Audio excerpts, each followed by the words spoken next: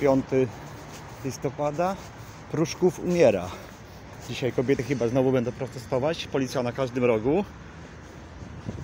Sieją strach, terror. Pruszków umiera, dlatego tak. Spójrzcie, na prawo. Nie wiem, czy będzie widać. Lokal zamknięty. Do wynajęcia. Na lewo. Lokal zamknięty do wynajęcia. Idziemy dalej.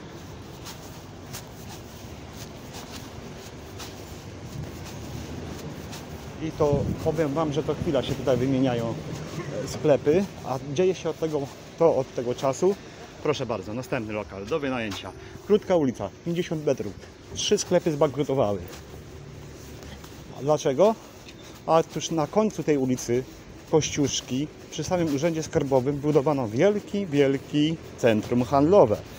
I te sklepy, wiem, że i dalej upadło kwiaciarnia, zaraz przy dworcach jakiś butyk upadł.